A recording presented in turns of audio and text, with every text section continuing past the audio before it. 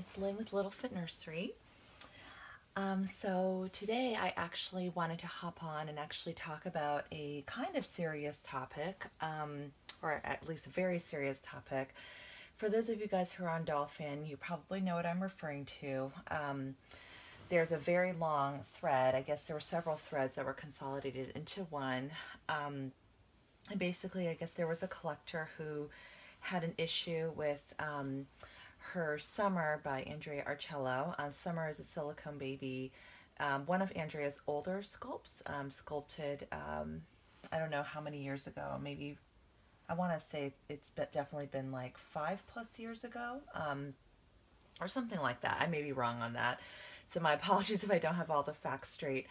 Um, but yeah, the past few days, you know, have been kind of just reading through that thread and oh man, it is so hard. Um, I, you know, I wanted to talk about the situation in particular and then also chat a little bit about just, you know, what should we do when we have, you know, issues with a doll um, in general, like talk about that a little bit as well. So, and while I'm going to do that, while, while I chat about this topic, and I realize this is a very hot topic, and I feel a little nervous even making this video, but I, I do think that, you know, all of us in the doll community, um, you know, it's the great thing about, you know, living in America, um, and hopefully living in a lot of other places in the world, is freedom of speech and the ability to express our opinions, express our thoughts.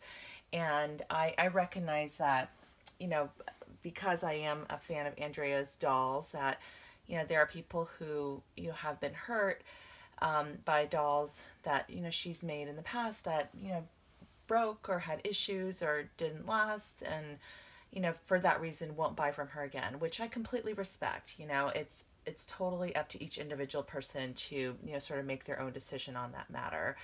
Um, and, you know, but I do think that there is, you know, I think there's, uh, there's a difference between sort of expressing your opinion, you know, in a professional manner and kind of sharing about, and kind of like, sometimes it's not always just what you say, but also how you say it. Um, and I do think that some of the tones and words used in the threads back and forth, and then Michelle Fagan got involved because I guess apparently with Summer, Andrea had um, contracted the pouring um, to uh, to Michelle Fagan um, for that edition and that um, she paid Michelle some money to pour each doll and then um, I guess some of, a lot of these dolls had issues of splitting and you know head coming off and things like that. Um, and so it is it is so hard. Um, such a difficult situation.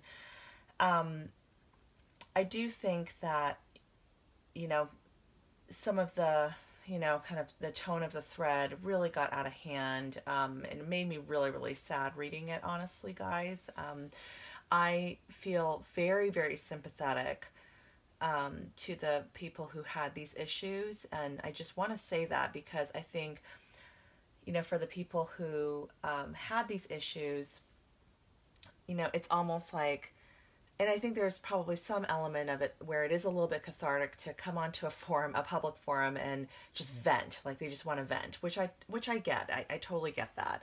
Or you know, if they're on YouTube, maybe they want to make a YouTube video and vent. you know, just like you know, sometimes when you know there's some drama in the community, we want to get on YouTube, and some of us want to vent or whatever. Um, but like you know it's but it's very very hard to um, you know be a fan of andrea's dolls right now when you know there's kind of all this going on. And i can only speak from my personal experience. Yes it makes me very sad um, and upset for the collectors for whom this happened to. But um, i did you know and i actually did write um, andrea out of concern about the thread. And you know I definitely think it would be great if she you know would personally go onto the thread and comment herself. Um, for whatever reason she's chosen not to do that. Um, so that's totally her choice too you know to like how she wants to to deal with it. But um, but I do think that you know so one of the things that she did mention was that um, the lady who had this issue happen with her doll that she purchased you know a, a few years ago um, that basically, um, you know, she did offer her a discount off of a future doll. and um, and so but the collector is so upset. You know, she's wanting she wants a cash refund and you know things like that. Okay, so a couple thoughts on this first of all. So let's say you bought um, you bought a doll and you do you guys remember the video I posted? Some of you guys are new to my channel. You may not remember this video, but I posted a video like a few um, uh, it must have been a couple months ago about um, you know wouldn't it be fun to kind of have have like like renting a reborn or would you rent a reborn or rent a silicone baby? I don't think it would like ever work because you know these dolls are fragile and it's so hard to um, make sure that they you know are kept in like brand new condition and things like that. Um, sorry guys i'm just playing with maggie's foot. She her silicone she is so so soft and so squishy i just like tactily love to like she's my favorite baby from just a tactile perspective just because she's so squishy. And look at that face. She's just so darling. Um sorry so i don't mean to digress but um but let's say you buy you buy a doll and you pay you know $2000 for a silicone doll let's just say. And um, let's say you enjoyed that baby um, for two years or three years and then something happens and there's an issue with the doll do you think it's really fair to expect a full refund um, i don't personally um, you know and the reason for that is you know, and it kind of kind of comes down to I'm going to get a little bit technical on you guys. It kind of comes down to uh, this concept of depreciation. So you you know, if you think of your doll as like an asset, and maybe there's some certain useful life, and you know, may, and, you know maybe we and we buy these dolls and we want them to last forever. Like I totally get that. But you know, but in terms of a reasonable, useful life where you know we can expect the artist to provide a warranty for their work, you know, maybe there's a certain period. Um, I know Andrea now offers two, a two-year guarantee, you know, for anyone who purchases her babies. Um, if anything happens, she will fix it free of charge. And I and I like to think that if there's a baby I've owned longer than that two-year period, and Isla Aria, I've owned them for you know I think two and a half years now, roughly. Um, that you know that you know she would still be willing to fix the doll for me um, but you know maybe i might need to pay a fee or something like that. And i think that's reasonable like if, if something does happen. Um, and you can think about let's say okay so let's say the useful life of a doll is six years. I'm just going to use that as more of a round number. And let's say you've had the doll for three years and it has an issue and um, you know you're expecting like a full refund of your money. Um, well i would i would argue that you know maybe you'd be entitled to some kind of partial credit. And um, given that these artists, you know, they're small business owners, you guys, like they don't have necessarily like millions of dollars sitting in the bank. They're not a corporation. I think that offering a discount for you know whatever that value is or you know agree you know that that feels fair some something to that feels fair and it may not be fully 50% um, of your doll's you know purchase price or something like that but it might be maybe it's maybe it's a thousand dollars off you know a future doll or something like that I think that's really, I think that's fair, you know, because the money that's already been spent on your baby has been, you, you know, usually the artist has spent that money to pay their bills. And so it's kind of, in my opinion, unfair to expect them to just give you a refund. But, um, but, you know, that's just my opinion. Um, I also think that, um, you know, just you know, I think just in terms of the communication um, and all of that, of course you should go directly to the artist first. And if they don't respond to you right away, and, and try to be a little bit realistic on your response time. Um, and I've, you know, and even when I was waiting for Emery May um, to be made, and guys, it was a three year process. I know that sounds crazy, but it was three years from the time that I reached out to Andrea to commission the portrait and uh, three years later she um, was put you know she was completed. And i knew andrea was busy. She had tons of projects going on. Um, but i'm a patient i'm a patient collector and i think i'm a patient customer. So you know I, I would just sort of check in periodically. If i didn't hear back right away you know i would send you know another email maybe um, you know maybe a week later or a few days later or something like that just to follow up in case it got buried in the inbox I, I don't know how many emails she she gets or how many emails some of the artists get, but some um, some of them get bombarded. And you know, for me, I'm I'm just honestly a tiny YouTube channel. I'm a beginning artist, and um, even at one point, I had like you know a number of emails going on in my little foot nursery email address, and I, I was having tr- some trouble keeping up or like trying to respond um, in a timely manner, you know, things like that. Or on Facebook, you know, you get so many inquiries. And so we're just bombarded by like social media. Anyway, that's like a whole separate topic. Um, but yeah, but I do think that the these issues should, you know, in in whenever you can resolve it, go to the artist directly. And even if like I know some of the ladies were saying like, "Hey, I reached out at the time that this issue happened and she didn't do anything for me." You know, why why not reach out to her today and just you know explain the situation in a polite way, just to say, look, you know, we, I had this issue with my doll. I reached out on such and such date. I didn't hear back from you. I was really disappointed and heartbroken because you know this doll that I love so much had an issue. Um, and you know, is there um, you know, I, I heard that you have been offering collectors a discount off of a future baby. Is that something you'd be willing to offer to me? Um, you know, that sort of thing. And even if, and I, and I think if you ask nicely too, you know, it, you're more likely to get a good result than if you come at somebody just attacking them, because then they're going to want to attack right back. And so it, I think it's just human nature. Um, so I think there's a little bit it's there's a little bit of an art in terms of that communication process. It's a very difficult situation to be in. And you know, I um, one of my good Dolly friends, you know, she had an issue with her Emery May, um, and like, you know, she she mentioned it to me when we were chatting at the doll show and how. Um, and, and she made the decision not to send. I think Andrea did offer to fix it for her, and but she made the decision not to send it back to Andrea, which is totally her choice as well which is totally fine and and you know because of that issue you know she's you know she's hesitant to buy from andrea which i which i look i i, I get it i understand and um but you know i think we can all just we you know we have to go off of our own experiences. And and yeah i you know I, I love her work. I love her sculpting. She's definitely like my favorite sculptor. In turn if you like look at the little faces if you guys look at May- maisie and connolly emery may um, and melina like these are just such beautiful babies and they're beautifully beautifully done. And the portrait baby she's making for me of me as a baby like turned out beautiful. Like i'm just stunned by like how talented she is sometimes.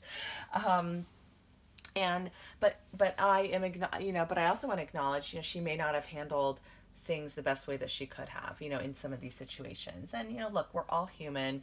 And i also think that you know the silicone silicone doll making is it, it constantly evolving art. So there are constantly new techniques.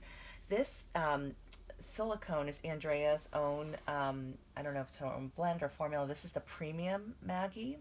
Um, and she is and, and, by the way i'm, I'm going to change her i actually forgot to tell you guys uh, while i chat and it's so hard to chat about like a hot topic that requires my concentration and also change the baby but at some point here i really want to change her i have all these really cute outfits um, that I got from Children's Place and I haven't changed her. This is a low. This is made by the brand is Losan. It's made in Spain. This is a zero to one month size, which I think should fit Maggie. Um, it's a little bit like a zero to three months um, or larger newborn size. So, but yeah, I think you know Maggie can kind of go either way. She's kind of that really wonderful size. So I'm gonna go ahead and just like undress her. And I'm not going to stress about doing this quickly because I really can't do it quickly when it comes to silicone. And I'm not going to worry about YouTube flagging me because apparently that isn't even really the issue because people have had Target shopping videos flagged, including my own shop shopping video from Target. So, um, anyway, so I'm just going to do this super slowly and um, while I just continue to chat. So, but yeah, it's it's really hard. Like I you know, what I would hope in this community is that, you know, for those of us, and you know, I and I know that you know some of you, um, some of the collectors, including some of you guys who have channels, um, I, I feel so sad for you for any issues if you you've experienced with your dolls. I truly, truly do.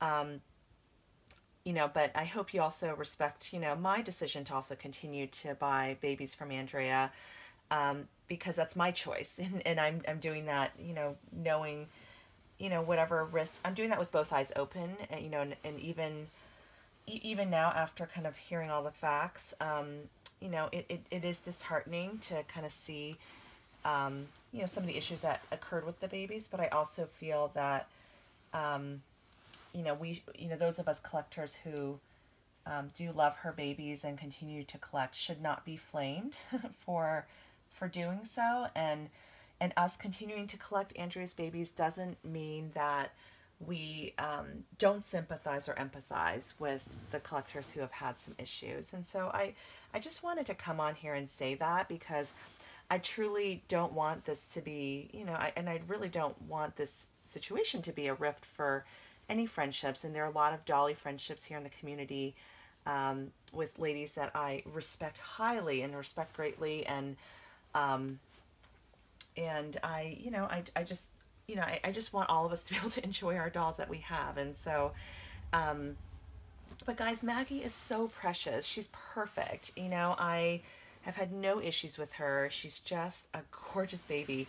And you know what? She's so cute. Like, she has armatures, which is really, it's, it's fun. But, you know, I, I don't think armatures are like probably my favorite. So this new baby I'm getting, um, the baby Enlai, or, you know, I, I call her baby Lynn because she is me as a baby. Um, I'm not going to get her with, um, with uh, armatures. Oh, I should probably mention. So I, so for that baby, my baby is going to be poured in the premium silicone that Maggie is poured in. Um, that was something I specifically wanted, and I know that the silicone edition she um, is doing is going to be the regular EcoFlex 20, but um, it sounds like she's offering two options. One is more the regular version, you know, probably similar to babies she's done in the past, and then the other um, the other is kind of a more enhanced version. So she, I think, I believe she said she was going to hollow out, you know, the cheeks so that they're squishier and then also hollow out a little bit in the tummy so you can have a squishy tummy effect. And so I, I, I don't know. I mean, maybe, I feel like Maggie's already pretty squishy. So maybe it wouldn't make sense for the premium silicone. I, I just want to trust her kind of judgment on that. Um, but I, but I did inquire about that. I was like, oh, am I going to get the squishy tummy too? I'm not sure. Oh goodness. Okay. So this is one of those outfits that's a little hard to dress. Um, so I always roll up the sleeves and I really should take um, the advice to, hmm, this is hard, the advice of like um, using mitts or something like that, but I'm going to just do this really carefully. Um, and so, yeah, so I guess for all of us, you know, you have to make your own decision as a collector, you know, but know that Andrea's new dolls, they do, ever since she started doing the pouring herself, um, you know, she does offer a two-year warranty, you know, with her with her babies now, which I think is great. So I personally um, am still supportive of her, and you know, I, I still am, am a customer and will continue to be, um, and until you know she gives me reason for me to not be a customer. Um, yeah, but it's it's so hard, and and I don't think any of us can blame these blame the collectors who have had issues either, because some of them you know, shared their babies were literally just displayed and nothing happened. So, you know what, guys, this is this is going to be a tough outfit to put on her. I can already tell. It's it's it's velour and there's not a lot of give in the fabric. So I'm actually going to abort this. um, and I'm going to find another outfit. I'm going to use this outfit for one of the reborns. Um, sorry about that, guys. So let me find another outfit that I'd like to put on her.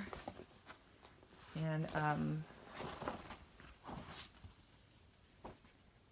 let me see if this one will work. Hmm. This one might work. I'm going to try it. Give me a quick second. I'm just going to cut off the tag. Um,